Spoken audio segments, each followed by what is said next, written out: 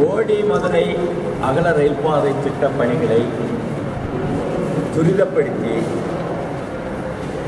மிக மெ- மெதுவாக சுலோவாக நடந்து கொண்டிருக்கக்கூடிய வேலைகளை வேகப்படுத்த வேண்டும் என்கிற தன்மையிலையும் ஓடி தேனி பகுதியிலே இந்த வேலைகள் இன்னும் துவக்கப்படவில்லை என்பதனால் அந்த பணிகளை துவக்கப்பட வேண்டும் என்கிற நோக்கத்திலே வருகிற இடைக்கால பட்ஜெட்டில் கூடுதலாக நிதிகளை மத்திய அரசு இதற்கு ஒதுக்க வேண்டும் என்கிற தன்மையில் மக்களுடைய உணர்வையும் மக்களுடைய தேவையும் உணர்த்துவதற்காக ஓடி வர்த்தக சங்கமும் ஓடி மதுரை அகல ரயில் பாதை போராட்டக் குழுவும் இணைந்து இந்த கூட்டத்தை இன்றைக்கு நான் சொன்ன அந்த கோரிக்கைகள் தான் இப்போ பிரதானமானது. ஏன்னா இது ரெண்டாயிரத்தி பத்தில் இந்த திட்டம் ரத்து செய்யப்பட்டு ரெண்டாயிரத்தி பதினொன்றில் இருந்து பதினைஞ்சுக்குள் முடிப்பதாக அறிவிக்கப்பட்டது. முடியலை. ரெண்டாயிரத்தி பதினெட்டில் முடிச்சிருவோம்னாங்க முடியலை. இப்போ ரெண்டாயிரத்தி பத்தொம்போதுக்குள்ளே முடிப்போங்கிறாங்க.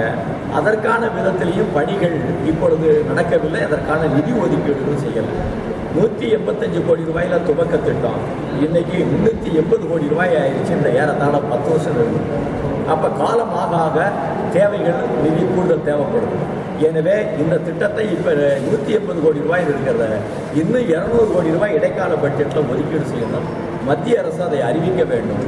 இந்த மக்களும் நீண்ட காலமாக ரயில் இல்லாமல் ஏமாந்த நிலையில் இருக்கிறாங்க. தமிழ்நாட்டிலே ரயில் இல்லாத மாவட்டம் தேனி மாவட்டமாக இருக்குது.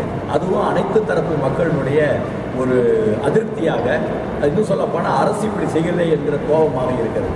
எல்லாத்தையும் இது உள்ளடக்கித்தான் இன்றைக்கு பாதிக்கப்பட்டு இந்த கூட்டத்தில் முடிவு செய்யப்பட்டிருக்கிறது முதலில் மீண்டும் மத்திய அரசு வலியுறுத்தக்கூடிய விதத்தில் பிரதமருக்கும் ரயில்வே அமைச்சருக்கும் கடிதங்கள் அனுப்புவது ரயில்வே அதிகாரிகளை தன்னக ரயில்வே அதிகாரிகளை சந்திப்பது இந்த டெண்டர் விடப்பட்ட முழு ப- ப- வேலைகளை உடனடியாக எல்லா இடங்களிலும் துவக்க வேண்டும் என்று என்று சொல்வது அந்த தன்மையில் மக்களை முனைவது இந்த ஒரு போராட்டத்தின் மூலமாக அரசுடைய கவனத்தை ஈர்ப்பது என்று முடிவு செஞ்சிருக்கிறோம் மனுக்களை நாளையிலிருந்து அனுப்ப ஆரம்பிச்சிருவோம். மக்கள் இதோட இந்த திண்டுக்கல் சபரிமலை பாதை என்பது ஆய்விலேயே இருக்குது. அதற்கான ஆய்வை முடித்து நிதி ஒதுக்கீடு செய்து அந்த